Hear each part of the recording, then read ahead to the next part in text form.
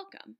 This presentation will provide insight on how local financial and demographic data can be used to indicate the status of a municipality's fiscal health. Please note that each data point, or indicator, can be viewed individually as part of this playlist. The presentation will play in full unless you jump ahead to a specific video. One of the biggest challenges in budget preparation is the uncertainty inherent in trying to plan for future events. When preparing the upcoming budget, it's always useful to have a clear picture of how your community arrived at its present financial condition and the trends that contributed to its current state. As there is no one indicator of fiscal stress, communities should take stock of their overall fiscal condition rather than zeroing in on specific measures individually and at a certain point in time.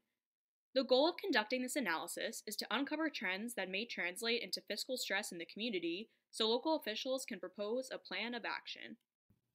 According to the International City and County Management Association, fiscal condition measures a community's ability to maintain existing service levels, withstand local and regional economic disruptions, and meet the demands of natural growth, decline, and change. In other words, it is a measure of how financially resilient the community is in the face of internal or external challenges.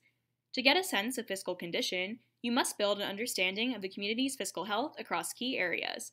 To fully make sense of the data requires knowing where a fiscal snapshot fits in along a broader trend. To establish a trend requires reaching back into historical data for at least the past 10 years, if possible, and updating with current data as available. Many of these trends must also account for the long-term effects of inflation. This allows the indicator to show to what degree an apparent increase in, for instance, revenues are actually absorbed by rising costs. If the trend is still positive after accounting for inflation, then it is likely in good shape. This analysis will be easier for communities who already perform financial forecasts and capital plans, prepare an annual comprehensive budget document, and have defined financial policies in accordance with best practice.